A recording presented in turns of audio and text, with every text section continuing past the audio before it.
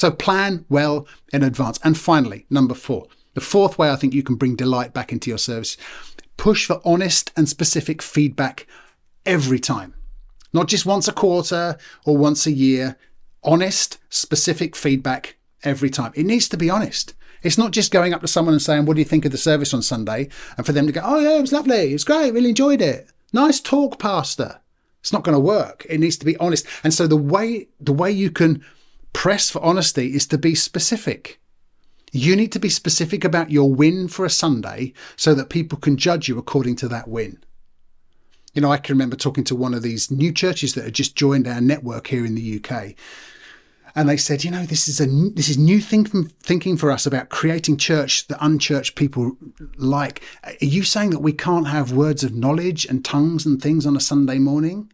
And I said, well, I wouldn't tell you what you should and shouldn't put into your service on Sunday morning. All I'm asking you to do is just decide what the win is. If the win is that unchurched people would come and would love it so much they want to come back, then if that's your win, then you have to look at the elements that you put in and say, is this going to help us get to that win? And if it does, and if people do invite their friends, and if people do keep coming back, then keep doing it. If it doesn't, why is it in there? So, here are six things that I think will help you with some honest and specific feedback every time you put a service together. First off, write down, make it clear what was the win for this Sunday. There's an overall win that unchurched people would come and want to keep coming back. But what was the win for this particular Sunday? Did we hit it? Secondly, who was our target audience? Who were we aiming at? Thirdly, where was the tension? Where was that question that everybody wanted an answer to? Where was, because if there's no tension in any story or any journey, it's kind of boring. Fourthly, why did it matter? You know, why did it matter? Because uh, if you know why it matters, it creates that sense of passion in you. You know, if we if we don't teach on family life, who knows? Maybe people will get divorced. Maybe kids will go off the rails. Fifthly, uh, what did we do or what did we not do to engage a first timer?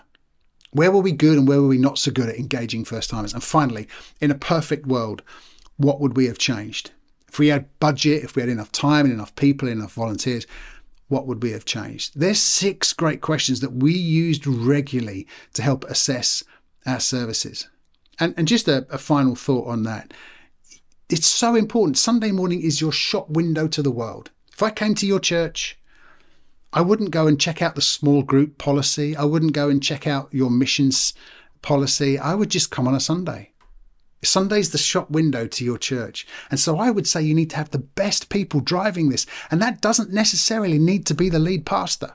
So often in church, it is just the lead pastor. Maybe he or she are not the best people to run this. Someone needs to own it.